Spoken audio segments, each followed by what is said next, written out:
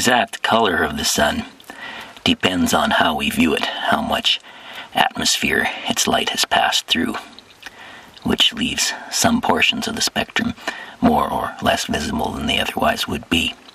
So the sun can appear yellow to us most of the time.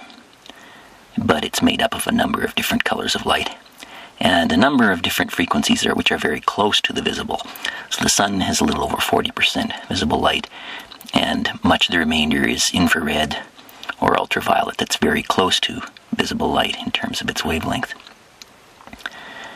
But whether you have something in the millions or in the thousands of degrees, it'll still give off a large percentage of its light in the visible range.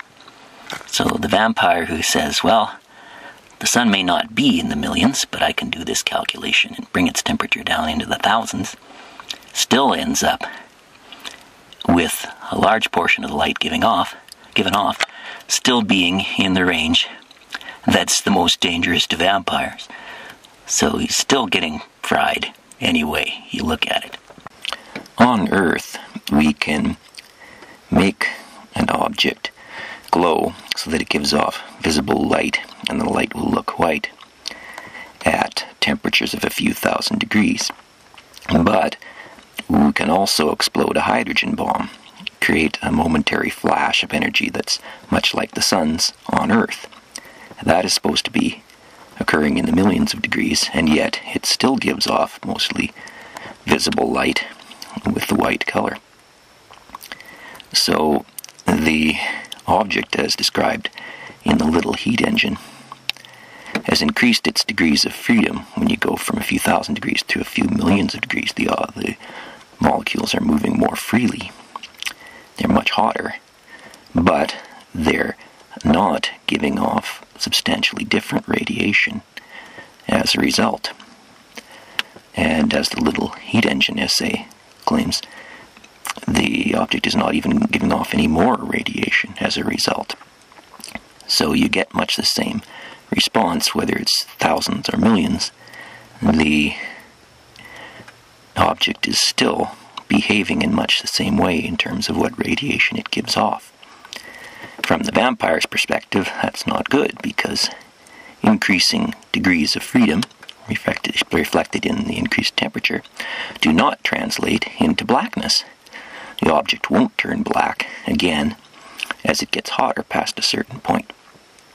Stefan's law, as described in the story, is a relationship between the inside temperature of the walls of an empty space and the amount of radiation given off and received by those walls, which can be measured if you drill a hole in the side of the walls that enclose the empty space and measure how much radiation comes out through the hole. So it's essentially describing what goes on in something like an oven. And it doesn't uh, tell you the cause of the temperature inside the oven. There, the oven is essentially independent of the surroundings. And if you want to calculate the temperature of the oven, uh, you get into all sorts of trouble because the temperature inside an oven is not something you calculate, it's something you choose. If you want to cook your pizza at 425 degrees Fahrenheit, you turn the dial, you pick the temperature, and that's what determines it. So, Stefan's law gets used in some ways that become quite confusing when you try to use it to calculate something. It's not too bad if you use it to uh, calculate the internal temperature of an object as if it's behaving like an oven with the radiation coming out through the hole, as you do with the sun, as described in the story.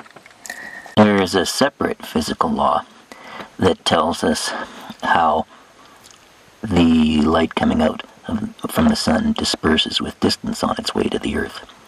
So we can take the concentration of sunlight just outside the earth reconcentrating it, reconcentrate it with this law, find an apparent intensity that should exist on what we think of as the surface of the sun, and then plug that intensity into Stefan's law to tell us the temperature of what we think of as the surface of the sun. And back calculate that to get Stefan's law of temperature. But that gives an answer of about 6,000 degrees Celsius.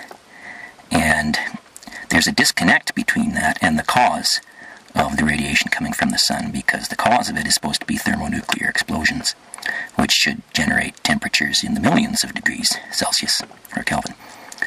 So, by taking that Stefan's law of temperature, it doesn't tell us much about the process of how the sun, which is supposed to be millions of degrees, ends up radiating uh, with a signature that tells us it's only a few thousand.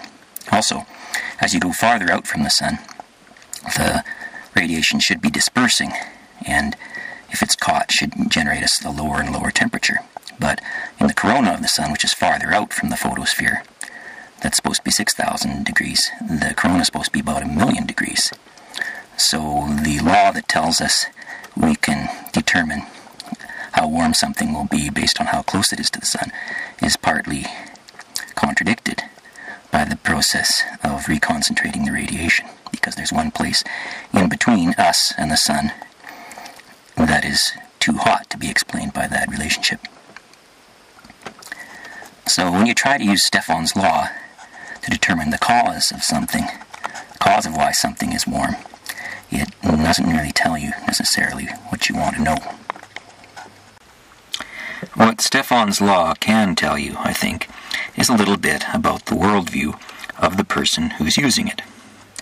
There are ways you can play with Stefan's law to give a desired answer, so the question becomes how someone will manipulate the equation to get the view of the Earth or the solar system that is desired. Stefan's law is a way of describing the behavior of what's called a black body, a hollow object with a hole drilled in the side to let the radiation escape. Vampirism celebrates blackness, the absence of color, and in many ways it can symbolize the forbidden, freedom to break rules, sexuality, and so on. And black appears on the cover of Evolve 2, Twilight, and other vampire books. With Stefan's Law, the description of the behavior of a black body, there's a correction factor one can employ to choose a blackness level for an object. It's called the emissivity, and it tells how efficiently an object gives off radiation and also how efficiently the ob- object absorbs radiation. If you look at a cave on the side of a mountain on a sunny day, and the entrance to the cave is relatively small, and the inside of the cave is a relatively large space, you can follow the path the light takes with your eyes. And the area inside the cave will look dark because it will be too much area to be illuminated by the small amount of light entering the cave. That's one of the ways we can think of a black body, because it absorbs all the incoming radiation and yet doesn't give much sign that it's done so. If you use the assumption that the sun operates like a black body when you apply Stefan's law, that means that the sun doesn't have a very high temperature and that it emits radiation very efficiently. Any radiation it could give off is given off. So the sun has an emissivity near 100%, or 1, when that number is plugged into the equation. The reverse way you could try to look at the sun would be to treat the sun like a white body, or nearly white body.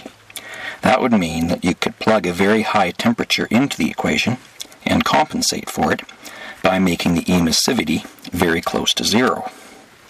Then the sun would be very hot, but it would not let out the energy in the form of radiation very efficiently. This could give a means of partially resolving the paradox that was just discussed. A black body is also supposed to give us a window, a hole, through which we can essentially look into its interior. By examining the radiation that comes out, then we can see inside it, so to speak. The sun doesn't quite operate that way completely. The corona, the outermost layer, screens out a portion of the radiation coming at us from underneath it, from the, from the photosphere. So some of the what's coming from the photosphere is actually intercepted by the corona, which would be like the wall of the oven. Also, the things we use to study black bodies are typically solid and hollow, and the sun, in, although it's under a tremendous amount of gravitational pressure, when you look at a picture of it or a movie, it seems to be heaving and boiling and throwing out portions of itself that fall back in. So, in that respect, it doesn't look like a solid. Behaves a little bit more like a liquid or a gas. And when something changes from solid to liquid or gas, as they say in the little heat engine, it takes on additional degrees of freedom. And during that interval, when it's changing phase, you can heat it more and it won't give off more radiation as a result. Because some of the energy is going into making it increase its degrees of freedom. With black bodies that we create on a small scale on Earth, they are set up for experimental purposes. The efficiency with which they give off radiation, the emissivity, and the temperature are chosen by the people doing the experiment. So you, you pick the temperature and you, you know what it is, or you can measure it. That's not the same case with the sun. We can't go down there and choose the temperature of the sun or put a thermometer in there and measure it directly.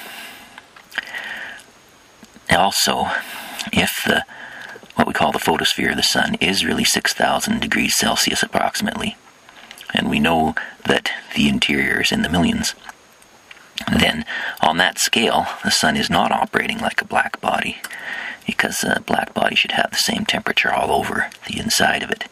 And if the black the surface is 6000 of the black body, then it's not operating like a black body because a black body is supposed to give us a window into its insides to show how they work. If we've got temperatures that differ from each other to that degree, then we aren't getting a good window.